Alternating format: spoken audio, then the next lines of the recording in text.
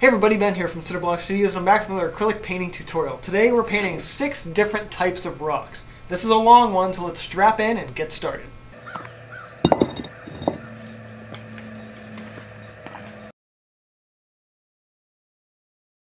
So for today's tutorial, uh, I've got a piece of bristle paper already uh, just kind of prepped and ready to go here with our six types. I've got them sketched out and for each of them, I've laid down just sort of a base tone of green to kind of give you a, an understanding of how these rocks might sit if they're looking in grass or whatever, any kind of green baseland.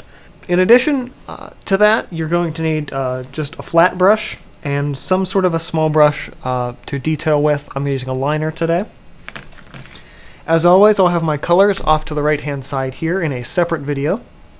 Colors for today, I've got some Cerulean Blue Chromium Pure. If you don't have this color, you can use a Phthalo or Ultramarine and mix a little bit of white into it. I've also got my CAD Yellow Medium Pure, uh, my regular mix of Mars and Ivory Black, and some Titanium White. Uh, now I also have this green color off the side that I used on the rest of the piece earlier. Uh, don't have to worry about that. If you need a good uh, tutorial for mixing good green grass colors. You can check the card in the upper right hand corner of your screen for my six different ways to paint grass video. I also have a little bit of water off to the side as well. I have a much smaller container today. Since this is just a demo, I don't need my full bucket, um, as well as just a rag to wipe my brush on as I go forward. So today we're going to be doing six different types of rocks. Now these are the types of rocks I use in my uh, paintings all the time. Not all of them are super realistic. Uh, some of them are more fantasy uh, oriented, especially the ones on the bottom row. But uh, these are sort of the six that I are, are my go-to, and, and, when I'm not doing uh, mountains, uh, I'm doing smaller rocks in a landscape, and these are those six. So for our rocks today, I decided it'd be fun to do a uh, sort of cool gray uh, for our general rock color, so something you think maybe like a limestone. So for this, uh, I'm going to use blue and white and black to make that. Now ideally, with uh, a lot of times you want to be using a more chromatic black uh, to uh, make your rocks and a lot of times I'm actually using uh, a brown and then kind of graying it out a little bit. Uh, but for this I thought just a regular simple, somewhat more cool, lean, leaning towards neutral gray would be uh, just fine for illustrating uh, different types of rocks that we have here. Just dip that, wet my bristles a little. Now because I'm working on paper, you're probably going to see me using water a little bit more than you might uh, use on like a canvas or a wood panel, but uh, just keep that in mind as uh, you're viewing and as you're working at home. So the first type, uh, it's simply basically a box. Um, if you saw the uh, video on the second channel, uh, which was sort of part, part one to this tutorial, and it was just about sketching these six specific types, we're basically going to be making a three-dimensional box in two-point perspective. So if I were to just outline this so you could see it. Well, there we have our nice, simple box. Now, rocks aren't boxes, obviously. Uh, at least in, unless, of course, they're, you know, shaped and cut uh, to be that way. But for this, we're just going to start by blocking that shape out. And towards the bottom, I like to kind of flare out the bottom edges a bit.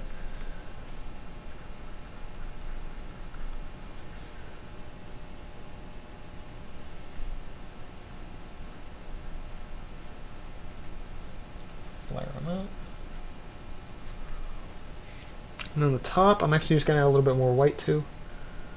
Because that's going to be ca uh, catching some, uh, catching our sunlight in most cases. Or whatever artificial light you happen to have. And in this case, I'm adding the white just to distinguish the, uh, the top from the sides. So I could very easily lose track of where I wanted that line. And you can kind of afford to be a little bit messier uh, you know, let your you don't have to that doesn't it doesn't have to be a hard clean edge. You know, you can play with your perspective and fudge it a little bit. Take the edges up further maybe. Pull it in. Fix your corners. Okay. So there we have a simple flat surface. Now with any of my tutorials, uh, if you've seen them before, you'll know that my uh, painting techniques is based on three simple layers, midtone, shadow, and highlight. And what we just put in here is establishing that midtone. Now our shadow, we're just going to go in straight into the black and the blue.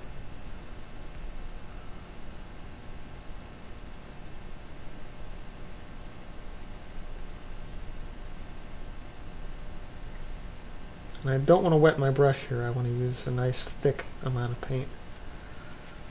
And just sort of the texture of the brush.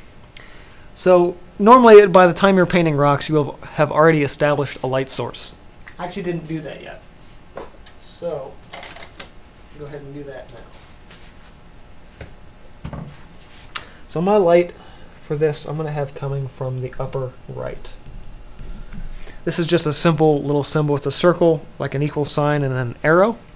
I can't remember which artist I picked this up from, but it's a really effective way to sort of remind yourself of where you wanted your light. I'm actually going to go ahead and put a second one in here for our next piece. So we have our dark. So everything in the shadow. Just grabbing and pulling and then tapering that off. I'm going to dip once. I just want to get this a little thinner and a little darker. Now this rock is going to be casting a shadow. So I'm to pull that out a little bit too. And in most cases you're not using actually black for shadows, but again I'm, I'm just simplifying my colors here. And what I'm showing you today is how to paint the shape and do that simple uh, three-layer shadow and highlight. Okay, so I, wi I wiped that off. I have another rag off to the other side of my uh, other side of the camera here. And now you wouldn't get as much shadow on this side, but you would get a little bit. So right where they meet, I'm really just doing a dry brush here. Adding a little bit kind of where that edge, we're kind of where the edges meet on that side. Right about like that. Now for the highlight, I'm going to my white. A little bit of that gray color we had before, but mostly white. And add a little hint of that yellow.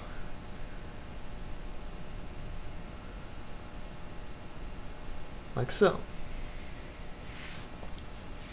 Now for this is our highlight color, so I'm going to be grabbing from this edge where our light's hitting and just pulling this way.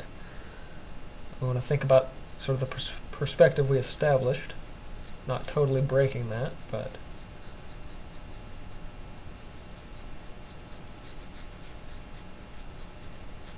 And rocks, rocks are really just a lot of a lot of dry brushing. I'm to pull a little bit of this light in this side too.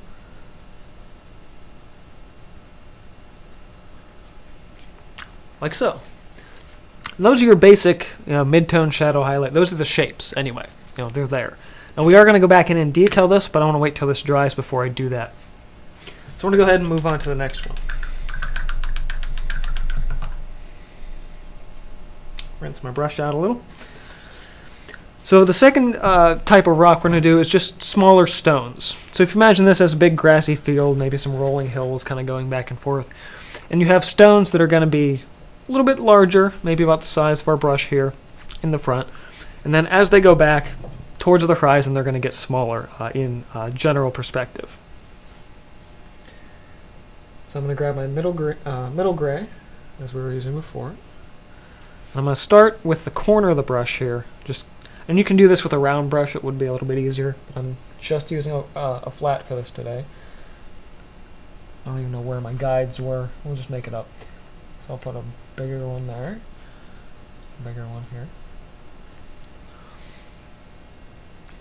As we get a little further towards the back, we can maybe make them a little flatter. There's one there. We'll do, we'll do three on this layer. One, two, three. Then maybe one here towards the back. And now I'm just using the corner of the brush.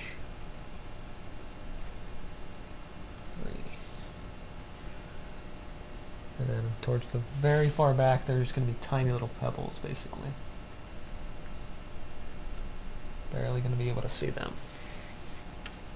Like so. Actually, I think for for good measure, I think we'll just throw one more right in front there.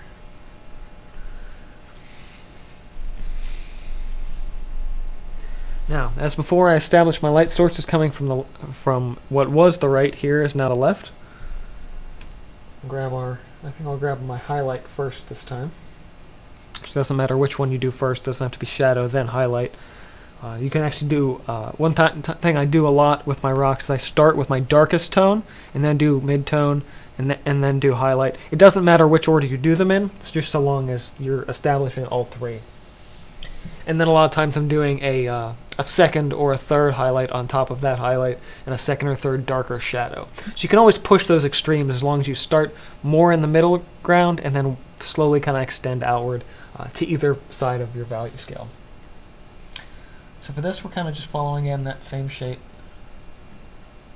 and then coming at the edge and then just pulling and dry brushing that, that down. You want to check out uh, a little more, more in depth of a video on the technique of dry brushing, I also have a tutorial for that. I'll throw a card up in the corner for that as well. Just grabbing and pulling, establishing where those highlights would hit. And if you're having trouble establishing highlights and shadows for rocks in general, uh, go outside, find rocks, um, and draw them. Uh, it's the easiest thing you can do uh, to really kind of uh, expand your understanding of where the light and the shadow uh, for, for different types of rocks is going to play. So, little tiny ones. And for those ones in the back, I'm probably not even going to touch that highlight until we can even uh, get to the smaller brush. So here we'll go into our dark, so blue and black. The blue and black really it's a it's a cheap way to get the the blue darker. I don't recommend it you doing it a ton. I, I don't recommend relying on it, but it's a nice, quick, easy way to get that that blue uh, tone down. I imagine this scene might be a little sunnier of a day, so maybe you don't see quite as much of the dark. And your midtone, your your first midtone is sort of a base layer. You, if if you're kind of struggling, like I, I don't I don't know, I'm not, I don't want to cover up my midtone. No, do it. Cover up your midtone, because um, you can always go back in and paint over top of that.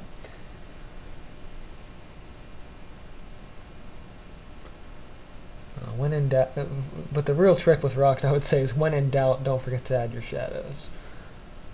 Because those faces where, faces and cracks where where the light isn't hitting, are going to be the thing that stands out uh, a lot more. So I'm going to lean my shadows a little bit bluer here. And I, for one, love using strong shadows in my work. Not all the time. Not all the time you're going to see strong shadows in landscapes, but I love putting them in because they're just so much fun. And when you're shadowing, uh, your light source sort of acts as a vanishing point. So I'm kind of keeping all of my shadows uh, sort of facing sort of back away from where that light source is coming from. Yeah, this blue looks a lot better than this shadow. I got a little too I got a little too carried away with the black on, on that first one. Plus, in using blue on top of grass, it's just gonna really let the green show for, show through, and know, you not really have a problem without it. Now these shadows, I think I can probably squeeze in here in the back. We'll highlight them in just a bit. Alright, so our first uh, rock's probably dry enough now. I can work in my uh, highlights uh, or at least second highlights, I'm going to go in and grab a lot more white. Kind of use the same highlight color I was using before and mix into that by grabbing a lot more white and again a little bit of yellow to kind of brighten that. But I'm not having it lean gray at all. Now if you use a liner brush at all, uh, whether you're new to using one or you've used one before, what you'll probably understand uh, very quickly is that using a liner brush is a lot like drawing. And because uh, if you're working with acrylics, you can just rest your hand on your work surface, as long as your work surface is dry, of course. So then you can add those extra highlights in. And from this, I just love kind of sketching in a, a few extra little highlighty details. And that upper layer of highlight you don't need to do much with. You can be a lot more sparing with. Um, and in fact, you should be a lot more sparing with it, because otherwise you just run into some problems. So I'm just defining a couple of edges here, a couple of places where I think the light might catch uh, a little bit more than, than a little bit less. Uh, one thing you can, can uh, definitely do with a lot of these uh, larger rocks like this is put in cracks partic particularly if you're doing like a, a walkway or something, a, a, crack in the in in the big rock can be really interesting. And for cracks, I just do a thin line in in a usually a, a dark. In this case, uh, my black. My black's a little watered down here, so it's just going to be a bit thinner than that. We have a dark part of the crack. And to really make that stand out, you do dark next to light. But again, make sure you're paying attention to where your light source is.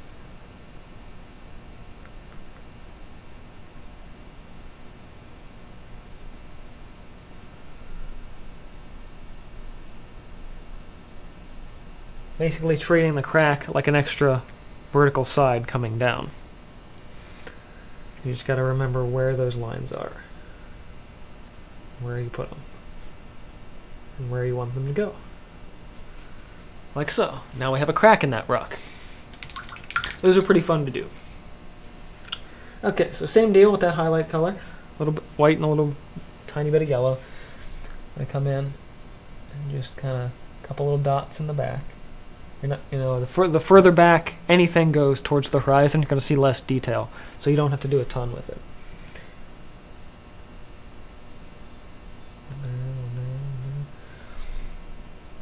Put maybe a couple more in here.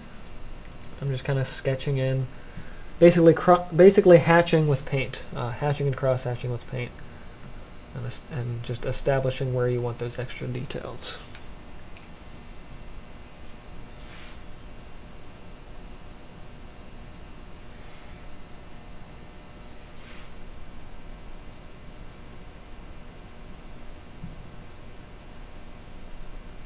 Same deal. Don't be afraid to kind of go over your over your shadows with your highlights. Just figure out where you want those lines.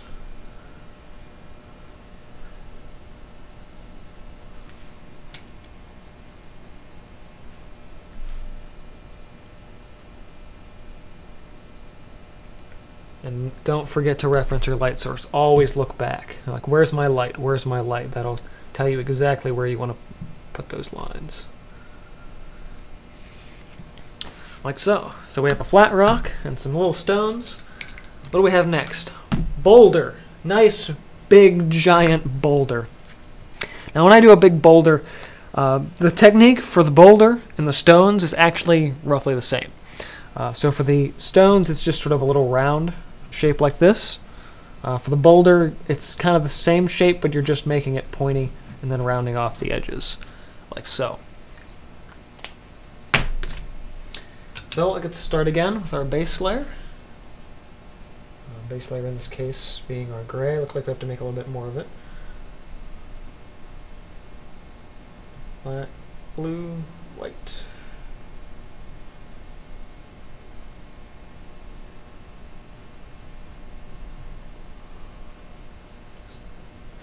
Nice clean area on the brush.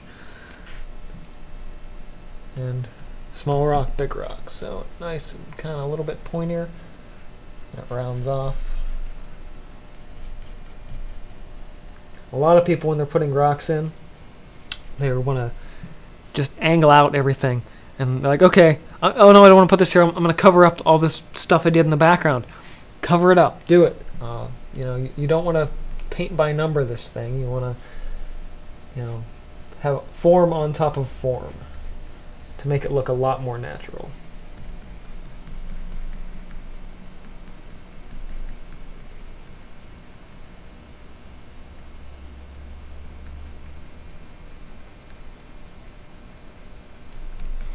Like so.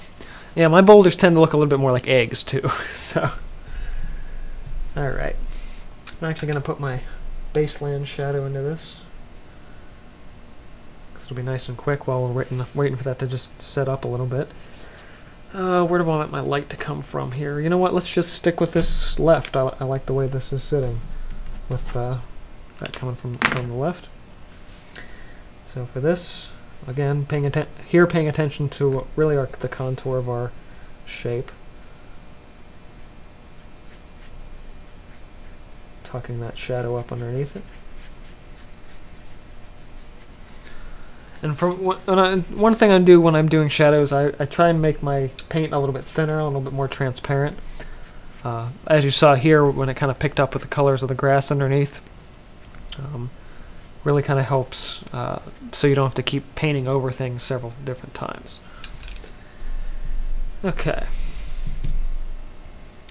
So for the shadows and highlights for this one, it's actually going to be probably a little bit trickier because at this point you actually do have to start thinking about your angles a little bit more. And when you're do- painting rocks, rocks are usually, unless they're got worn down by uh, wind or water, they're going to be more angular. Uh, so that for that reason, that's actually why I picked the flat brush to uh, make these rocks. So I'm going to get I think we'll highlight this first. So we're going to get our white and our gray. A bit of yellow.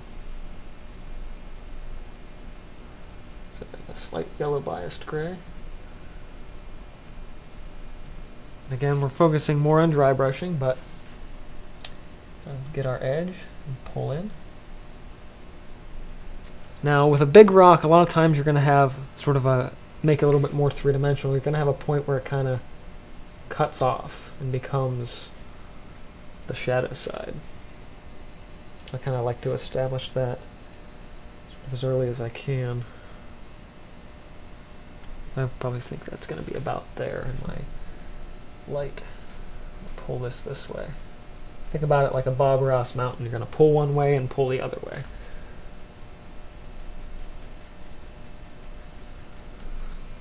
There we go. This side of the rock, of course, arcs in a little bit more, so we'll go this way.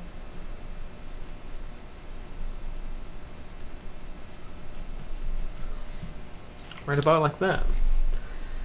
Now you're going to get, with any object this large, a little bit of cast lighting and cast shadows.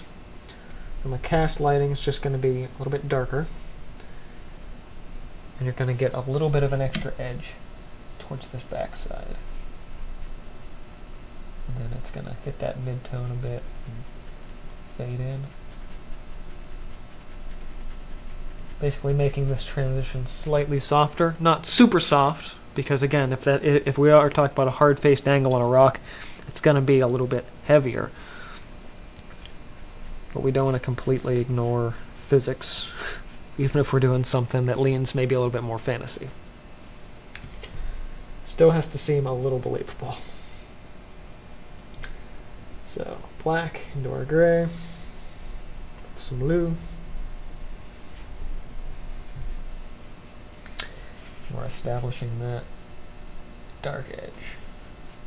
That's going to angle out the other way. Now a lot of people, uh, a lot of people will do mountains and rocks with a knife. And that's one thing that I just absolutely do not do and do not recommend doing.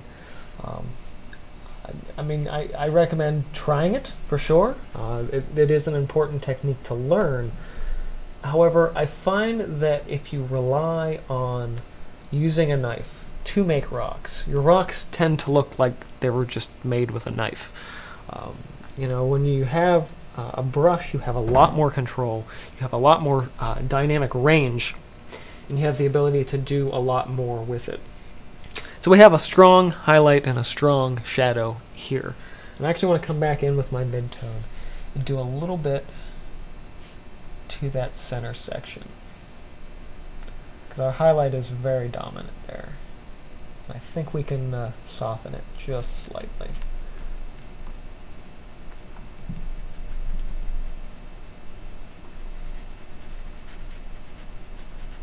If this is a nice bright sunny day, the shadow wouldn't be quite that dominant.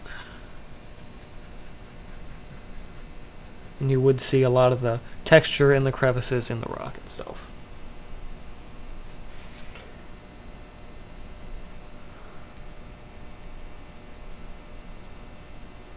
Don't be afraid to sort of under under mix your paint on the canvas, or paper in this case. Having those extra brush strokes can really add an extra, an interesting layer uh, to that shape. Okay, I'm actually just going to go right into my detail here.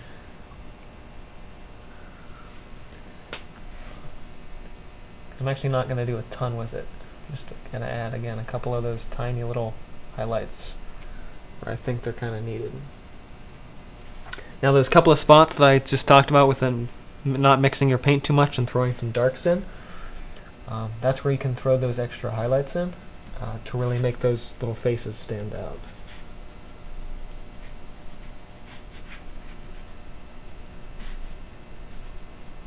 It really kind of just depends on what kind of shape you want your rock to be.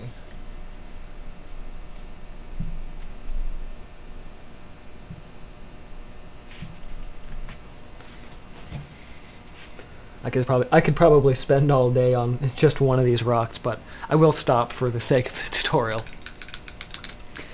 Okay, so the next uh, three examples down here are what I would like to call fantasy and sci-fi rocks. The ones on top are a lot more realistic. The ones on the bottom, they're going to be a little bit stranger, let's say. So in a lot of digital concept art, one thing you find a ton of is uh, pointy, sharp, jagged rocks. Now, those type of rocks are nice sometimes, but they can also be very easily overused. Uh, so you kind of have to be careful with when you're using them, how you're using them, and kind of a point to make them a little bit more realistic when you need to. So what do I mean by pointy rocks? Well, things like this shape.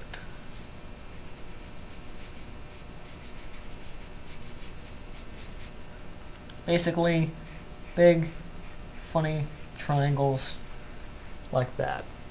Now these are really interesting. They can be very cool to add in to certain landscapes. Uh, but there's two things about them to note. One, you're not being original by using them. And two, you can very easily overuse them of course, causing uh, a little bit of an issue. Uh, and I guess three, that's three things, uh, is that this type of pointy rock looks good in the background, does not look good in the foreground, uh, specifically because rocks don't have sharp edges like this. Maybe if they're in a silhouette, sure, but most of the time, in the foreground, you're going to get an extra dimension to that rock. So if you put a big, sharp pointy rock in your landscape, in the foreground, it's going to look a little bit out of place. It's going to look like it doesn't belong because it's just so sharp, so thin. Uh, now you can kind of shade it to feel maybe like it's like a shell of something, but a lot of times if it's a shell, you want to play with uh, maybe making it more of a dome just to make it a little bit more believable. So how do you add that extra dimension? Well, again, think basic shapes, basic perspective. Uh, so for that, uh, turn you turn that uh, point into a prism, basically. So we're going to add just another slightly lighter layer right here.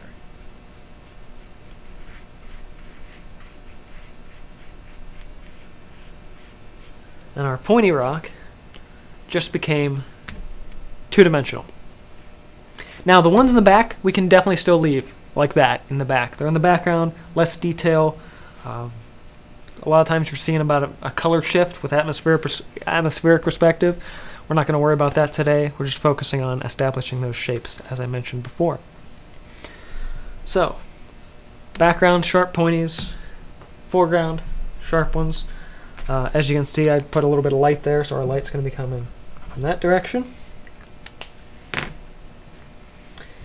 So we'll add our highlight to the background ones.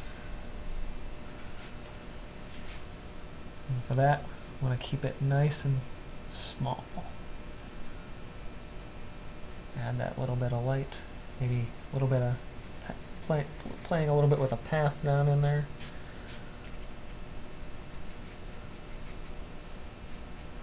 Seeing where that light would be. Same thing with this upper one here. Grab that highlight again.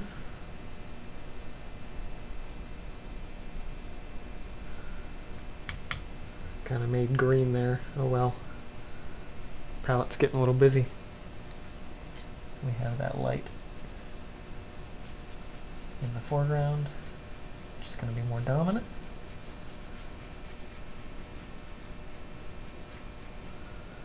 Kind of leave that mid-tone edge a little bit for myself. Maybe for this one, though, we'll make that edge a little softer.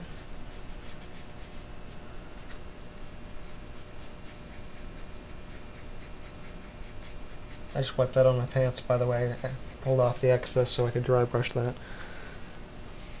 And then we get our dark.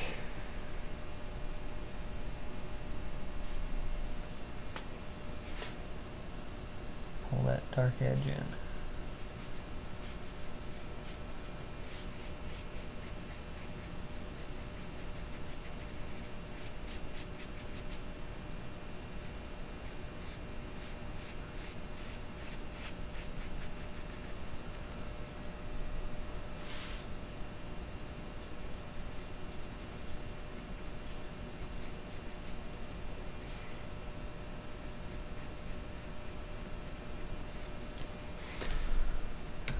I'm actually going to grab a little bit of that pre-established green that I had before.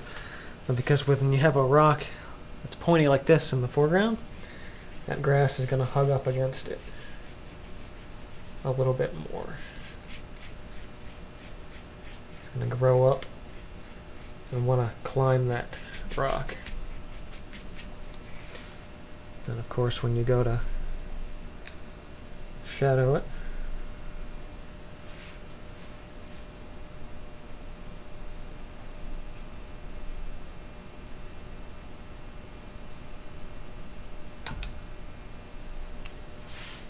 that point.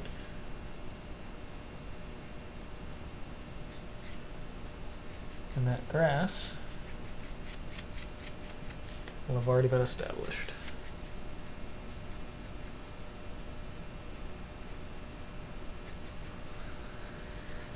Right about like that. Alright, now let's have some real fun here. We've done pointy, we've done round, we've done angular stuff. Let's talk real fantasy. Let's make a rock that's curvy. Rocks aren't curvy in, in, in real life, but let's say we're t- telling a fantasy story. Maybe this rock has a magical spirit that helps carve it uh, or, or shape the rock itself. Maybe it looks a little bit like an S curve.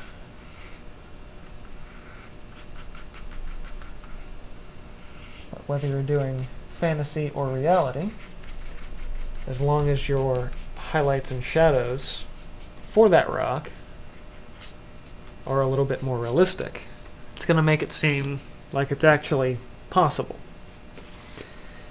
Okay, so I like the, the light coming from the right here.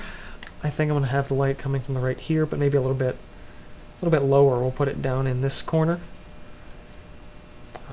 And maybe kind of going up into that side. So you're going to see a lot more shadow up towards the top, maybe wrapping around, and a little more highlights down towards the bottom. So I think I'm going to establish my shadows first for this.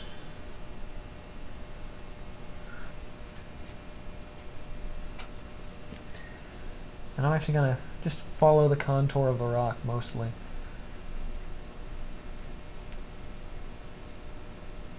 This is going to be an interesting corner because you're actually going to get a little bit of light coming up from there. I'm kind of just wrapping my brush and swirling the brush, pulling, but also pulling that curve because I'm kind of thinking about that, almost like a like a head.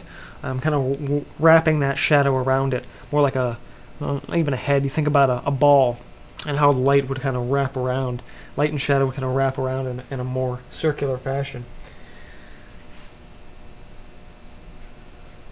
So the whole thing, while I'm still imagining some angles, I'm imagining a lot more curves to this.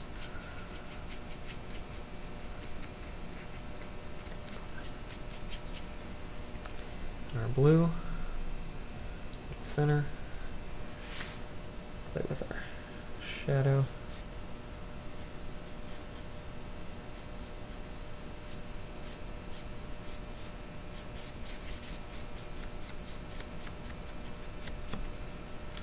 Actually, the way this arcs, you wouldn't see that. This would still be light. I gotta think about the shape of that object. Anyway, yeah.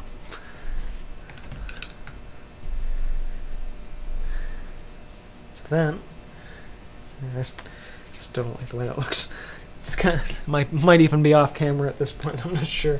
Anyway, our focus is the rock today. We'll worry about my terrible shadows later. So highlights. All right, this should be. I'm gonna come way over here. I gotta get a different angle on this. I would I would have turned this, but I can't right now. So I gotta work around that. Cause I still I still want to pull, but I like to keep the paper facing the same direction. So I gotta work my way around. If I can't move the paper, I'll move my body. Pulling that light. It's one thing I love about doing rocks is it's just basic shapes, and you're just pulling and pushing the light uh, in, the shadow and building these forms. Okay, it's gonna be a little darker there. I'll leave that more as the mid-tone because it's slightly more or slightly less direct light. So that could be a flat face there. Just gonna pull that out a bit.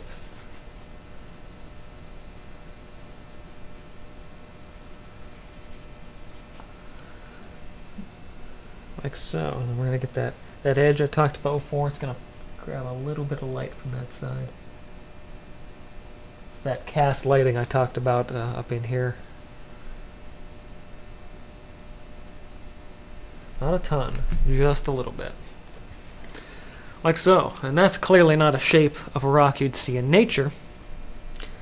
But it might be one that you see in some sort of crazy fantasy landscape, a lot like the stuff that I do on a regular basis. Whoa, hello, I'm spilling water. Must be getting excited. Okay, so we're going to mix up some highlight color again. Yellow and white. The reason I'm using yellow is because if you just use white, uh, it'll seem almost a little bit too flat. You add yellow, uh, yellow in most cases, you're going to get a lot more natural light uh, with the yellow. So when you mix it with white, uh, it gets almost brighter than regular pure white by adding that yellow. Here, I'm just going to basically just define this edge a little bit more.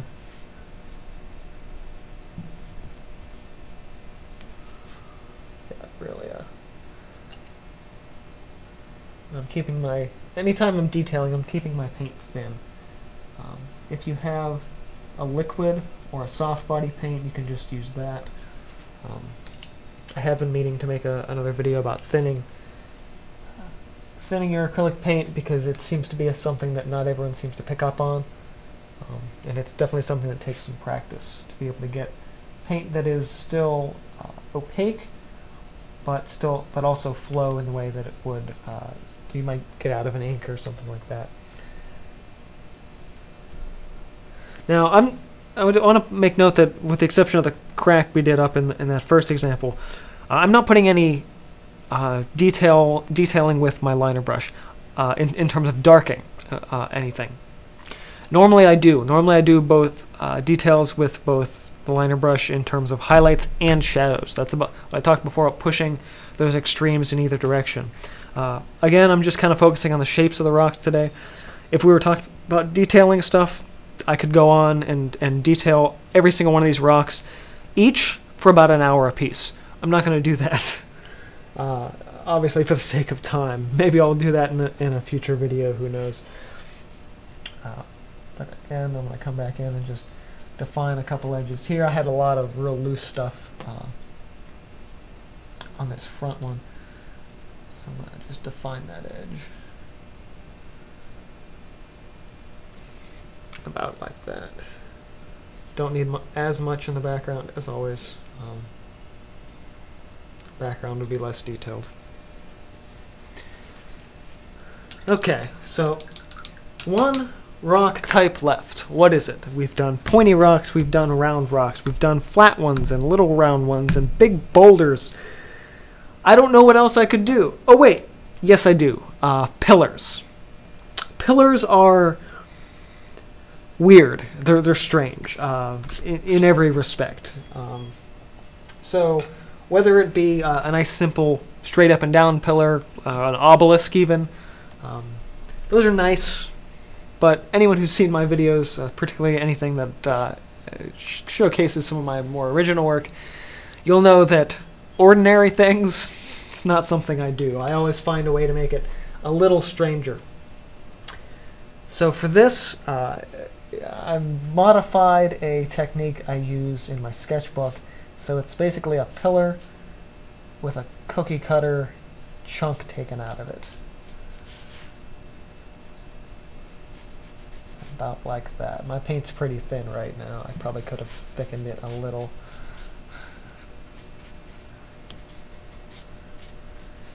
Like so. Now when they're in my sketchbook, they're usually just two-dimensional but I specifically wanted to have an upper angle to show you a nice uh, uh, three-dimensional shape. So I'm going to grab a little extra black in my paint. Might as well keep it thin since I seem to be doing that right now. I'm just establishing the shape here. We'll kind of go back in and play with thicker paint in just a minute.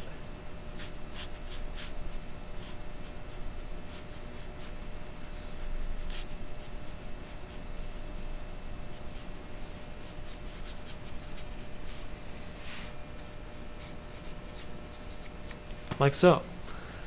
Our light was here, our light's just going to be uh, now on the left, since we're just doing this object. Uh, now, pillars uh, of, of, any kind, rock, maybe it's a, a tree, something like this. As we talked about before, any of these shapes, these are just shapes. These are basic geometric shapes. And that's all we're doing is just coloring them uh, to make them seem more like a rock, and then dry brushing them over top to make them seem a little bit more natural. So we'll go black and blue. And I'll shadow this real fast.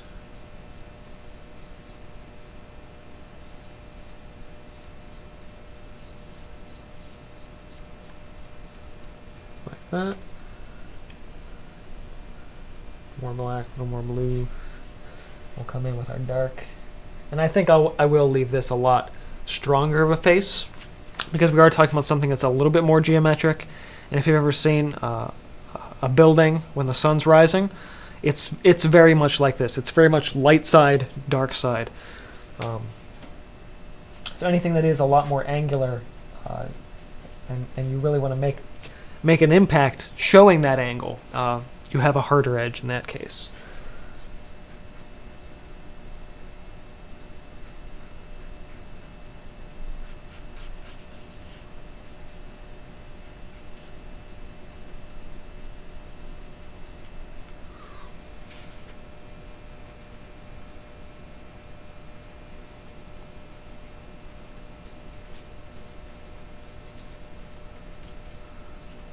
Strokes of your brush just kind of become new little rocks that fit in.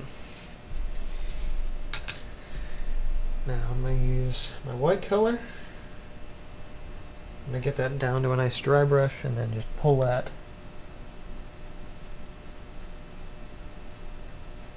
on that edge. Now with a with a flat brush it can be hard to kind of get this curve I'm actually kind of probably just gonna skip it for the time being and come back with uh, come back with my liner.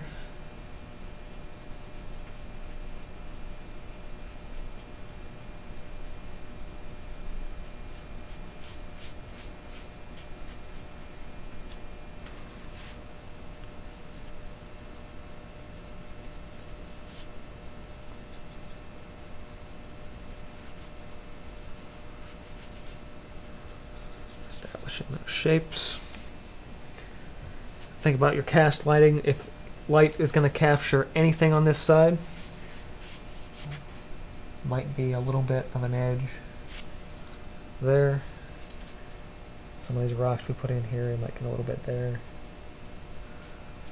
Like so.